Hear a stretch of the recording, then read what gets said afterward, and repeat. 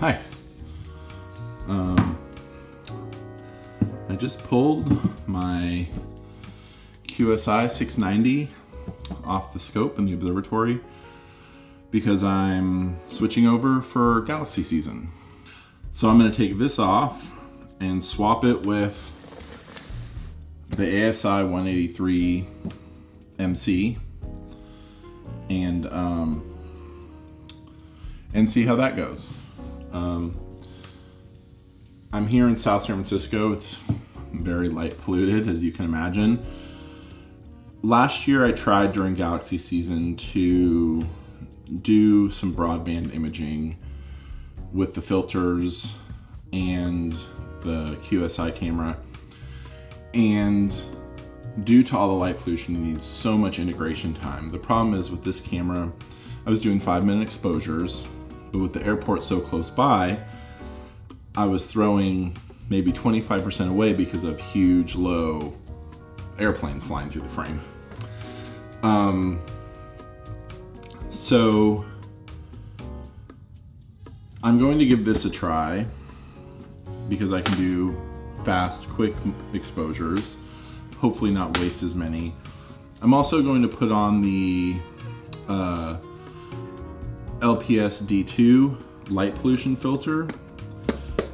Um, some people, there's, there's different, uh, how do I want to say? There's different camps on whether to use a light pollution filter or not to use it.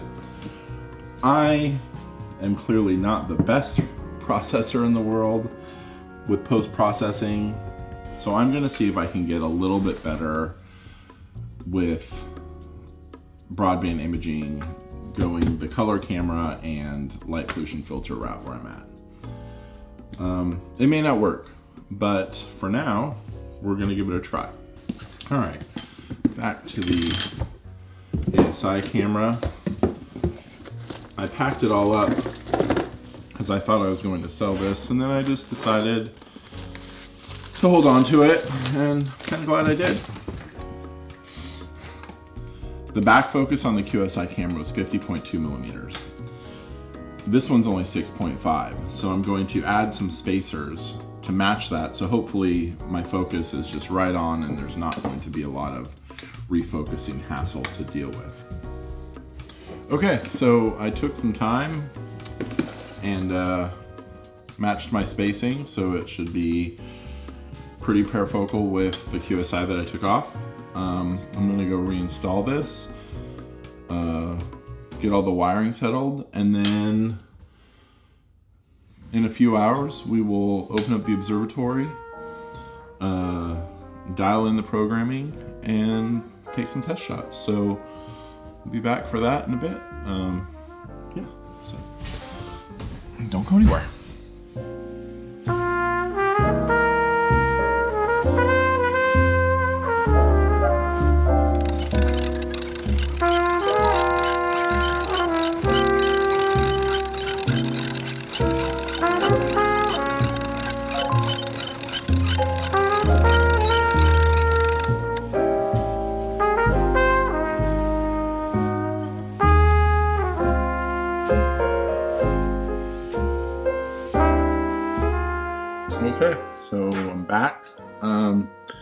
Next night.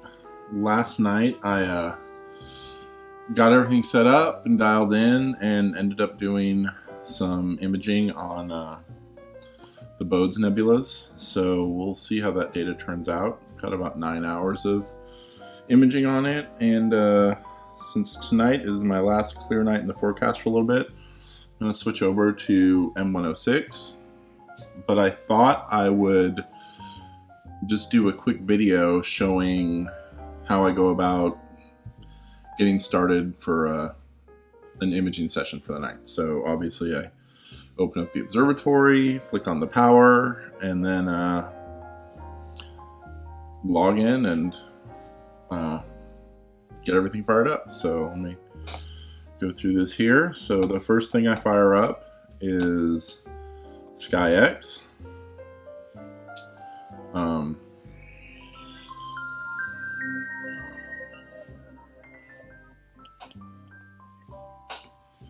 So I'll uh, connect the telescope.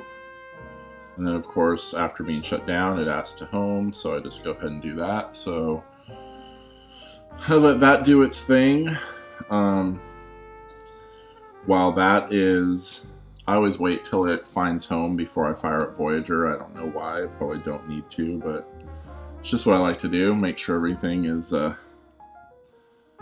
working properly one step at a time. So I'll let this do its thing. Um, and then we'll move forward here to uh, firing out Voyager. All right, so we're tracking, we're all good. So now I go about firing up Voyager. And Voyager will actually fire up the Sky, it'll start up the SkyX as well if I shut down, but I just like to, know, just manually do it, I guess. So, all right, so we've got Voyager open. I Also open up the Fit Viewer, so that's ready to go. Running a little dual panel area here, so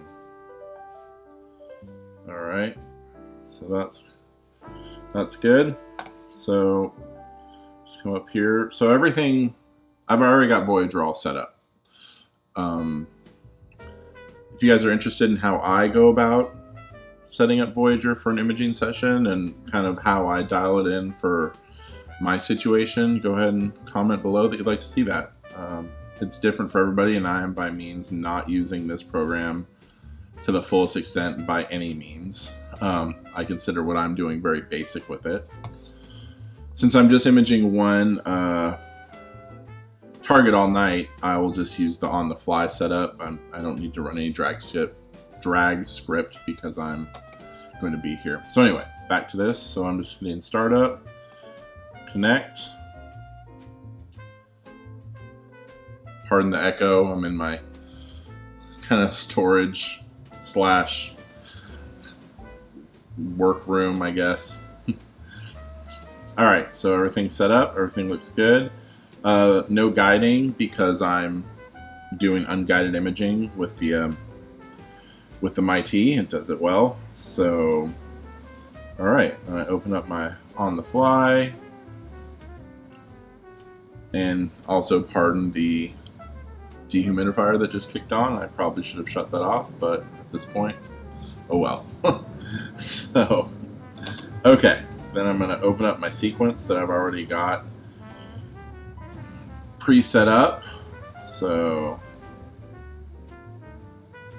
there we go. And then I just uh, I just kind of go through and make sure everything looks good. So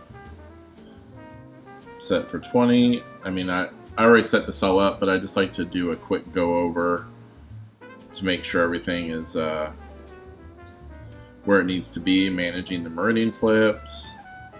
Guiding is unguided, but I'm still wanting to dither, so I dither every exposure. Uh, three pixels, pretty heavy dither, but that's what I like. So, um, focus, uh, I use the local field. I find it works good for me um, for uh, my setup uh, the good night. In case if it's an error, it'll just park the mount and uh, warm up the camera and same thing.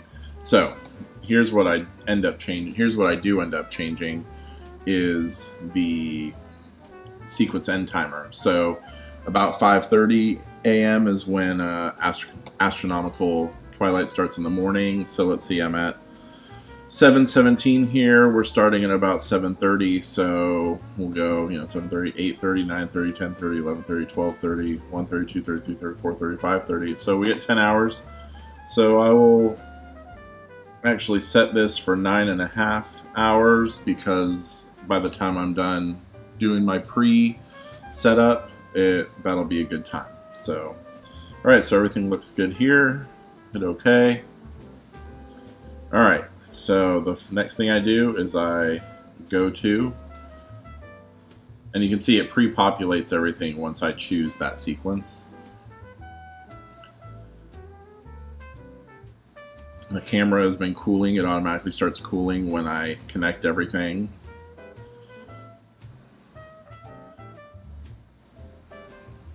So we're slewing over right now. Um,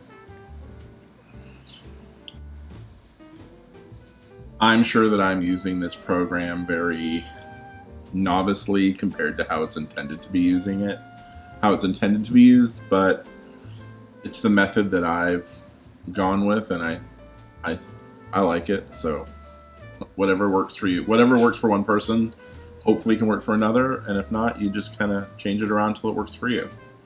So that's the great thing about this hobby is we can no matter what stage we are in learning, there's always something more to be learned. So, and as I work through this and watch and read about other things, I learn something new, and if it works for me, I implement it. So, anyway, all right. So we are tracking. We're good. So, um, my next thing that I do is I uh, run an autofocus routine.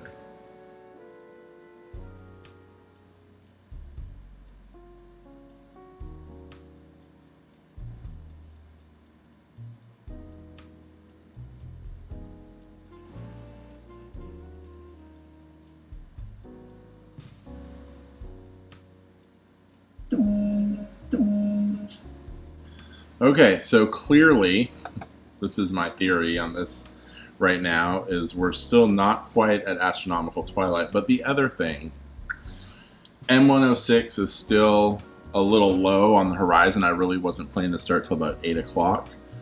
And I have a ton of light pollution. So I think that what is going on is we are um, we're hitting a light pollution situation. So with that being said, we're going to try this again, but I'm going to go over to, we're just going to get rid of this. I'm going to use this and we are going to, all right, so what we'll do is we're just going to go up to something a little higher. We're going to go up to M81. We're going to use this. We're going to go to, yes, it's just going to do a quick slew up. Not too far away. And then we are going to run this autofocus routine again. And here you can see we're picking up a lot more stars because we're not dealing with a light pollution situation. So, at least a low horizon looking to the light pollution of San through, through South San Francisco towards the bay.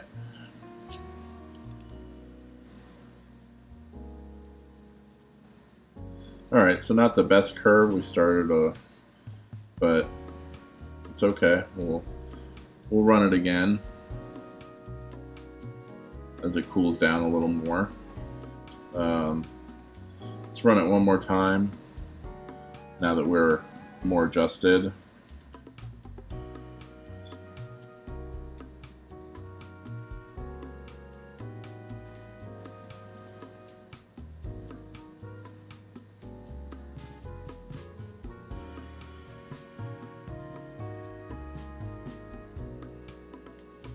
We're clearly getting, uh, the seeing is not quite as good this evening as it was last night.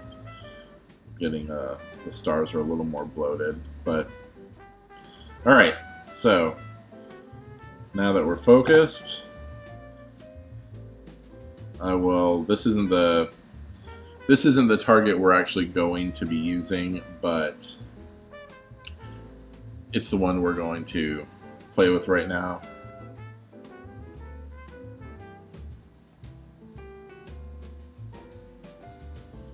There we go. So that um, I can capture some more data for the next hour, hour and a half as I wait for M106 to rise up instead of wasting this time. So get that going, and then uh, we'll run you through that, and then I'll say goodbye.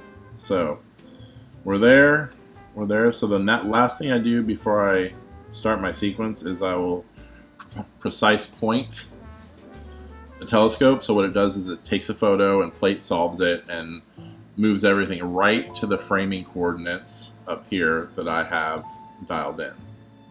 So as you can see, here's my here's my framing. Everything's looking good. Wasn't quite where it was supposed to be, so it's doing another one. See it shifted just a bit. Alright, everything is good.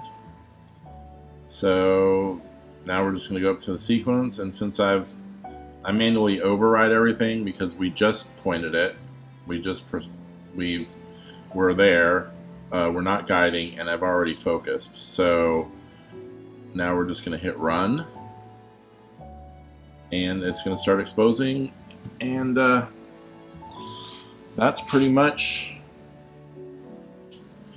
how I get going for the evening. Uh, I'm sure I rambled on a bit, but um, hopefully you found some of this interesting. I hope that uh, maybe you learned something in this video or at least saw how I went about doing things. Um, hopefully you took something good away from it. I will be back with another video at some point and I think I will probably try and uh, we'll see if I get some of these images from this evening and yesterday evening processed before I post this video and I'll put them up at the end here. Um, if not, I'll put them up and maybe make a little processing video for that. Anyhow, have a good night, clear skies, and we'll see you next time. Bye.